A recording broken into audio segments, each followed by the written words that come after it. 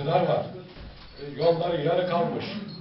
E, düğün salonu yok koskoca köyde. Ya bunlar yapılmamış. Bugüne kadar yapılmamış. Yollar belli.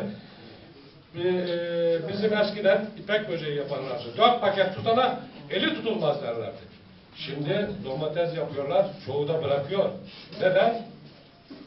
Mazotu alamıyor.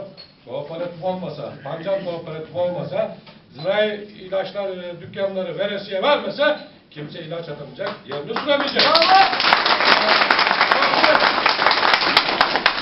İşte bunları düzeltmek için o istemeye geldik. Hepinize saygılar sunuyorum.